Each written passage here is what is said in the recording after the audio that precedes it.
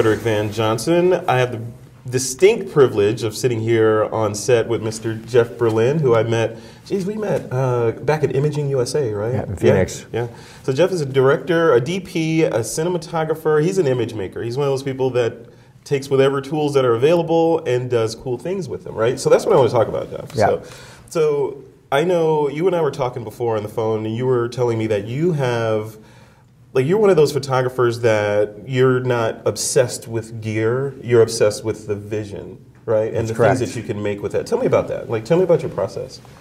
I mean, for me, I, I love having the tools to realize the creative vision that, that I'm trying to realize. yeah.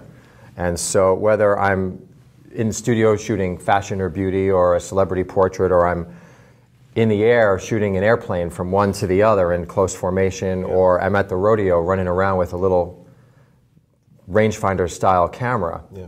um, I, I always try to find the right tool to realize the image that I'm looking for, that I'm setting That- out to achieve. that resonated with me yesterday. You and i were talking and just that that flip of mindset from okay you know people advanced amateurs and amateur photographers think okay i see a jeff berlin out there. Let me see what he shoots with. Oh he shoots with that? I have to go get that camera because i want to be like jeff berlin which is not the right case right? Your you your mindset is more of pick the right weapon for the job right? Oh yeah, totally, totally. I mean, for me, I the creative vision is really what comes first and foremost. Mm-hmm. What am I setting out to do? Mm-hmm. And then I will, from my arsenal mm-hmm. or lack thereof, sometimes I will choose what I what I feel is the right um, the right tool to, to try to to like I said to achieve the look that I'm that I'm going for. it's like the a team getting suited up for a Sure, mission right absolutely. I mean, I set out like, what's my mission today? Yeah. What am I trying to achieve? What do I need to achieve that? Mm-hmm. And that's essentially. So I'll go into my cabin. I'll be like, okay, I, if I'm, I'm at the rodeo, I'm going to be taking pictures of people who aren't always used to being in front of a camera. Mm-hmm. So I'm going to use a range style, a, sm- a rangefinder style camera, Mm-hmm. a smaller camera with a smaller footprint that's less intimidating, it's less obtrusive. So when I'm running around and saying, hey, I think you look amazing, I want to take your photo, let's find a place, blah, blah, blah. And they're like, okay, no problem. And then, uh, you know, I'm shooting them with this little camera and it doesn't, it's not like, it, it's not intimidating to them.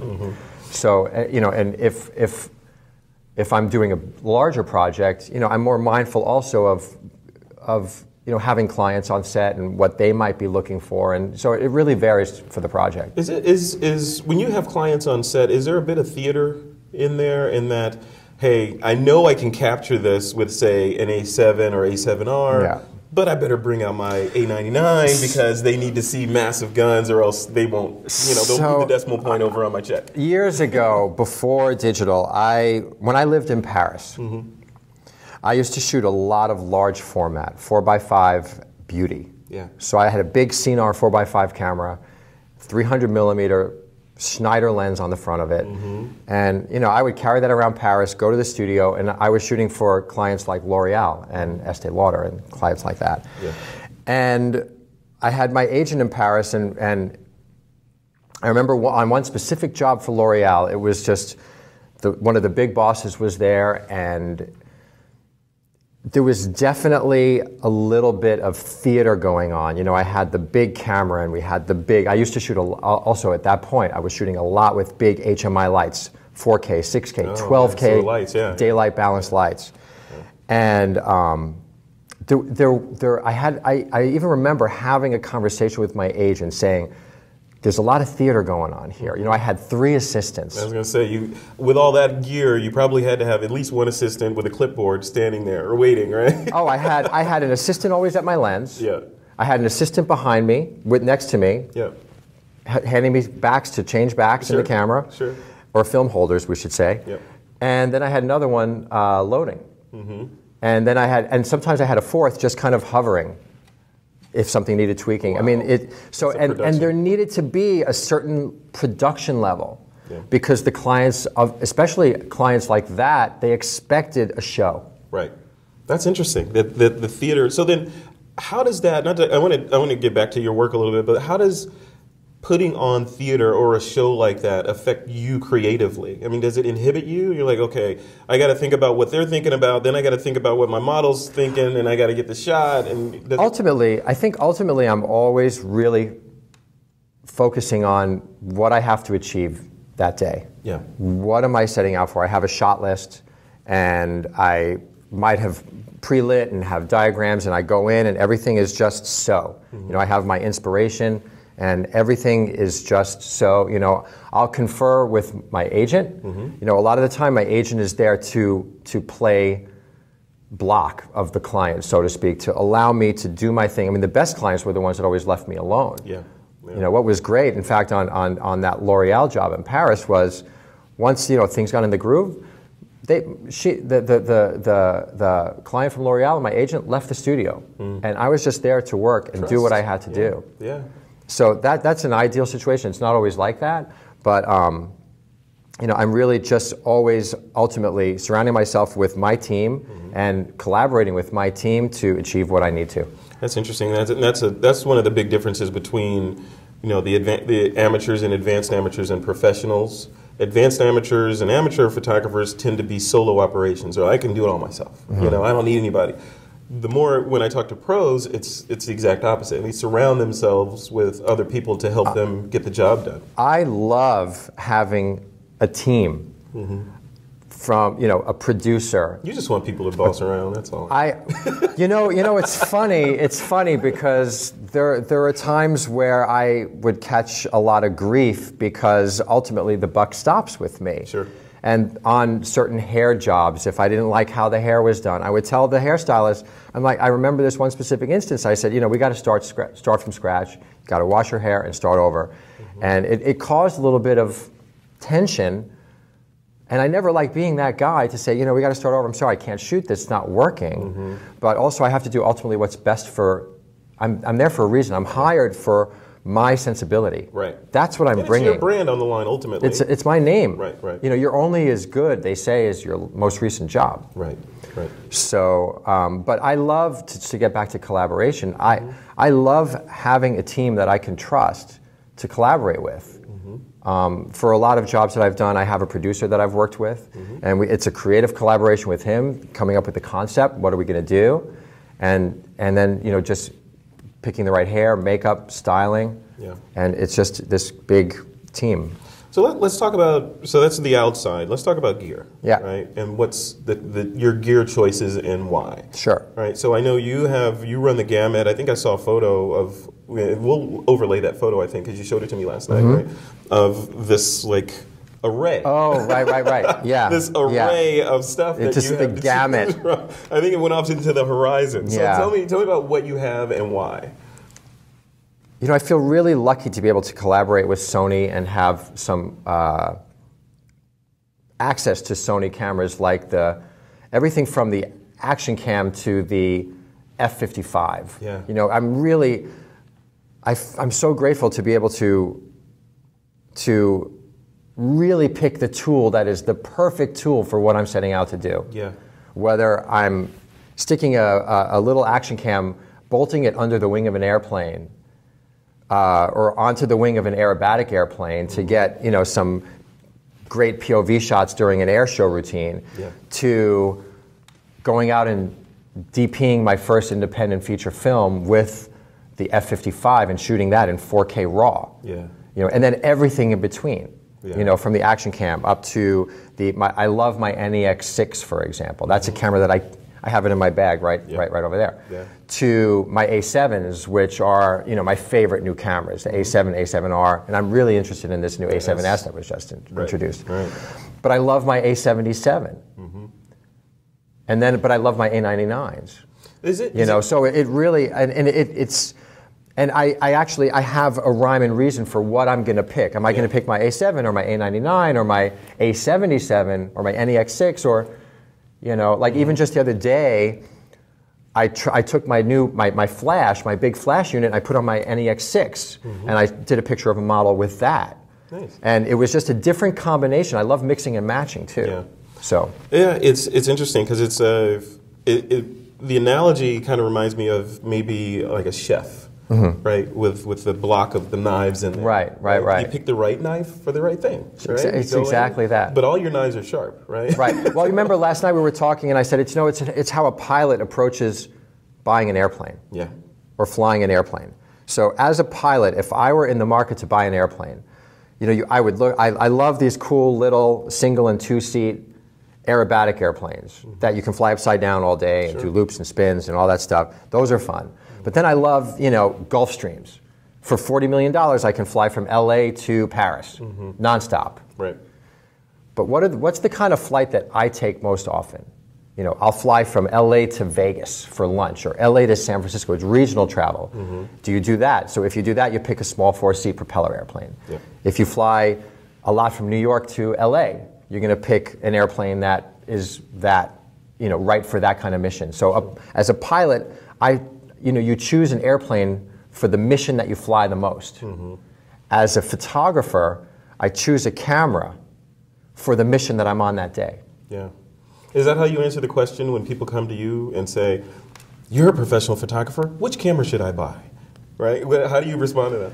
You know, my first question to them is, what do you shoot most often? Mm-hmm. Yeah. Because that's that's really the camera that you should have is the camera that's most appropriate for the work you do. Yeah, yeah. So let's talk about uh, 4K a little bit. I know Okay. you just we have an article up here that you wrote that's just recently been published in uh, what's the name of this? It's magazine? the it's the Cine Alta magazine. It's the most recent issue that was Yeah. released uh, just just in it. this show, yeah. So this, the gist of this article is about what something that's near and dear to my heart that I'm really interested in. and Right. that's the convergence of motion and still, and being able to what I call harvest that motion footage to pull out still photographs It's- successfully. So are we there now? Can It's, we do that? I think we are. I think we are. I, it's, it's a really, really interesting time. Um, you know, it's funny because years ago, um, when I first got into digital, I, I had a Canon 5D Mark II. And I got that camera because of its ability, its convergence of still and motion in one, in one camera. Sure. And anyway, long story short, you know, I, I, I even back then I thought, you know, it would be really cool to pull stills out, but it just the technology wasn't there, the resolution wasn't there, whatever. With 4K RAW, um, I was able to. So I, I had this access to the F55. I had a job coming up for a LA-based fashion magazine called Genlux. And I thought this is the perfect time and the perfect opportunity to try this thing. yeah. Because I've heard that this is a thing now, cinephotography, Yeah. they're calling it. I mean, I don't know if that's the official name, Cinephotography. cinephotography. Okay. Using a cinema, a cinema camera, a digital cinema camera, to pull, roll, to roll. Mm-hmm. You, you, you um, pull big files out of it, Yep. Process them, and then you, you know, it's so it's like the ultimate motor drive. yeah. Yeah. You know, and the resolutions are there where I'm, anyway, so I like that the ultimate motor drive, right? So instead of i i the cadence, instead of say on a fashion shoot, shoot, Right. instead of being click, okay, move, click, okay, move, click, give me more of this, click, you roll and then go direct. But it's, it was it was interesting because this is this is one of the shots behind us Uh-huh. that is actually I shot with the F55 in 4K RAW. I set up the digital the, the camera in the in the studio on tripod just like a normal camera that I would shoot with. Yeah. And I it was different. It was a different process though working with my model because there's no click. She didn't have the feedback of Yeah. the click. That's the other thing, yeah. Training the So models because it they know to move to the next pose when they hear the click. Right. The click is everything from, you know, I'm doing well, it's affirmation, he likes what I'm doing, the, Yeah. or she, the photographer, likes what, what's going on. Mm-hmm. I did this. And so I was talking, you know, I was working with the, with the girl, saying, okay, you know, we're rolling. And so I, I was, I, I had set the camera, I had done, I had done a camera test with a model a, a week before. And I figured, because I, I didn't want any motion blur, I wanted just enough where a little bit of hair movement might come. Sure. But with, with the girl, I didn't want her to blur so much. Mm-hmm. But I, I didn't want to shoot at a higher frame rate than 24. Mm-hmm. So I, I worked it out to where, with this camera, I, I use a shutter angle as opposed to a shutter speed. Hmm. So with Explain that. Explain that. So 24 frames per second uh, in your A99, for example, when you go to shoot motion, you would set your shutter speed to 50. So standard, you know, for cinema cameras, they use a shutter angle because of the back in the old days, and some of the cameras still now, like even the F65, they have a physical shutter that spins and you know the film is pulled through the camera the shutter opens up for half the time it's there or for whatever fraction of the time that the shutter is in the the film is in the gate then it comes down again and it's the whole thing. It's how a film camera works Yep. motion picture camera. So a, you want to have like that cinematic look with a little bit of motion blur. You want to have uh, the shutter open half the time that the film is in the, the, the, the gate, so to speak. So hence 24 frames per second, 50th of a second, or 48th of a second. Yeah. That would equate to a 180 degree shutter. So the shutter is open, it's open half the time and closed half the time. Yeah. So with this, a 180 degree shutter would give me a little bit more motion blur than I wanted. So 90 degree, that'd be like a hundredth of a 2nd 45 degree, that'd be like a 200th of a second. So in the model test that I did, I tested different shutter speeds and uh, or shutter angles rather, and a 45. So I went with a 45 degree shutter to give me a two, the equivalent of a 200th of a second, which was just enough to keep her sharp, but give me a little bit of motion when I wanted it. That's cool. That's cool. So, uh, But that's getting very. no, that's awesome. Yeah, that's Yeah. what people want to hear. You Yeah. know, they want to dive into the weeds on that stuff. Um, so, with this kind of photography, though, like we were talking about before, the traditional model portraiture type thing Yeah. is flash, right? Correct. Now we're continuous lights. Well, I've been continuous light throughout my whole career. Mm-hmm. I've, I've always loved the quality that I get with continuous light sources, Yeah. especially HMIs. Yeah. Although everything is going yeah, LED now, and it's really interesting what you can do with LEDs. But you know, throughout my career, HMIs have been such a go-to light for the effects that I want to get. Yeah. Because also I've shot a lot of beauty, a lot of hair, and you can get shines and textures that, that are really harder to achieve than uh, with strobe That's cool. as with HMI.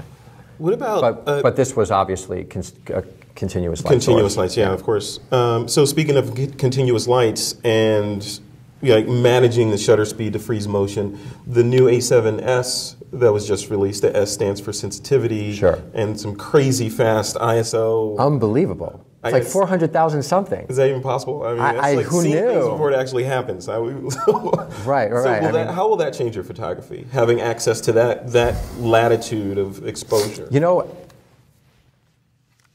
as a still photographer, I don't often shoot in low light. Um, so, for me, as a still photographer, I, I, I, I love the idea of having very clean files in a lower light, but I don't often shoot in low light per se. Got it. You know what I'm trying to say? oh yeah, yeah, yeah. shooting motion though like when we were doing this this movie that I shot with the F55 one of the things that was so fantastic for me about the F55 was its low light capabilities mm-hmm. because it's tw- it's its native ISO for for that camera was 1200 Wow. exposure index Native ISO. right so Almost digital. it's almost locked still when, when you're shooting when you're shooting 4K raw it's locked at 1200 exposure index okay. so that was great because we were shooting that film pretty much sunset to sunrise. So we were on an overnight schedule, so there was a lot of low light. And what I really loved about being able to shoot with a, a camera with terrific low light sensibilities motion was being able to not have to overlight a situation, to be able to use a lot of practical lighting and to take light away even. Yeah. That's to- interesting. Yeah. So Yeah. So now a scene will be more true to life, right? Because it's more true it- to life. It, and I mean, there was a scene in this movie, and I mentioned this to you last night very quickly, Mm-hmm. where um, we lit. It was a very small, tight area that we were shooting in, Yeah. and we lit it with a flashlight and two iPhone screens. insane, yeah. And the camera had enough low light sensibility that we pulled a terrific image. Again, from and it wasn't a big flashlight, Yeah. a little flashlight and two iPhone screens on glow, set to glowing. Yeah. Yeah. And that was all the light we had, and it was all we needed. So let, us talk about that movie because you, you mentioned that movie uh, Yeah. and, and shooting it with the F fifty five. What what's the process for for like I guess to dive into it? I know it's a complex sort of array of people and equipment and gear and scheduling and location and all that. But when it comes down to it, on a day to day basis, you show up again. You're the fall guy, right? You're you're the guy in charge. You show up. What does it look like? What's a day for you when you're shooting a feature film or a film like that? Well, firstly, I didn't want to roll out of bed after having a eight-hour turnaround, and I wanted to sleep another three hours. Yeah. But um, no, it was it was, you know, it's funny. It was a grueling, excruciating drudgery of an experience, but it was wonderful. Yeah. You know, it was it was such hard work, and the hours were long, and I was also the camera operator, so nothing happened until I was ready to shoot. Yeah. So it was it was there was a lot of work. It was really exhausting. You know, we would go over the schedule, we'd go over the shot list, we we would plan. You know, all right, this is everything where we're going to be, and I'd start thinking about light and what we were going to need, and and you know I'd confer with the director, and we'd go over you know camera angles and different shots we wanted, and you know let's do it from this angle, let's do it from that angle, and then when we got on set, you know, again, it was just always conferring with the director. You know, I was always by his side, or we were always just constantly within earshot of each other. It was like, okay, here we are, here we are, here we are, here we are. Yeah. You know, Yeah. and it was just on and on and on. I mean, it's day after day after day. Are you to do another? But one? it's wonderful. I mean, it's funny. We did. I remember we did our last shot. I shut the camera down, and you know, it was a very wistful moment because you know, over weeks of working with these people, you bond with them, you become family, Yeah. and you know, in some ways, you know, the few days before the end, you can't wait for it to end. Right. Then you finish the last shot, and you're sorry that it's over. Wow. You know, This, the whole process sounds a lot like what I hear women describe childbirth as. I like to, you know, it's funny because when I'm shooting, and especially when I'm shooting something really exacting like beauty, and I'm like, don't move, don't move. It's always very, you know, very specific, very precise. Sometimes I feel like a dentist. We're almost done. We're almost there. We almost got it. Yeah. You know, I, I feel like I'm pulling a tooth or doing a root canal. yeah. Well, Jeff, this has been a, a, an awesome interview. What's what's next for you? What's uh, what's on your plate? You know, I this whole transition from being a still photographer to shooting motion has been very organic for me. It wasn't really something I, I had in the grand scheme of things. Um, but like even even in the past few years, I worked on a couple feature films that were directed and DP'd by friends of mine, but with major actors like Helen Hunt and Samantha Morton and Aaron Paul and Yeah. Maggie Grace, and it was a, you know some. I, so I, I really had an insight to some, but even then, I, w- I- I- being a cinematographer was not even really on my radar. But I paid attention, Yeah. and um, now having been behind the camera and having worked in on my own projects as director, cinematographer. Um, I mean, I, I will always stay true to my roots as a photographer, as a still photographer, because I love it. But being able to take my images, my sense of this, to, to translate my sensibility to a moving image has really been transformative. Yeah. And, and I, I just want to see where that goes. I, I, I love it. It's a lot of fun. And now you have the tools to do that with that arsenal, right? It's, it's, it's amazing, again, from everything from the A7 and, you know, all these Sony cameras, the A7, the A7R, the A77, the A99. Mm-hmm. And now with the A7S going 4K, Yeah. I mean, I have the opportunity for stills and motion in just about everything that I pick up, which is fantastic. That's crazy. So where's your where's your website? My website is uh, online. It's uh, oh, good. That's a good place for it. it's uh, berlincreative.com. Okay. And uh, my Instagram and my Twitter are both JT Berlin. Juliet Tango, JT Berlin. Perfect. Very smart. Branded, stamped, I try to be consistent, except for the website. except for the website. that one came first. Awesome. Well, Jeff, thank you. Thank for you. Coming on. It's been Yeah, for pleasure, sure. pleasure chatting with you. Pleasure's mine. All right, guys, that's it. Jeff Berlin. Make sure you check out his website at Jeff Berlin Creative. Uh, Berlin Creative. Berlin, Berlin. Maybe you should get Jeff Berlin Creative. Well, how, you know, I should probably now. I'm going to have to get that, or else somebody's going to squat on it and make me buy it from them. You got to go get it now. Go get your computer. So berlincreative.com, and uh, you've heard it here first. I mean, here's the guy that's using all the Sony gear and picking the right tool for the right job. I'm Frederick Van Johnson. We'll see you in the next interview.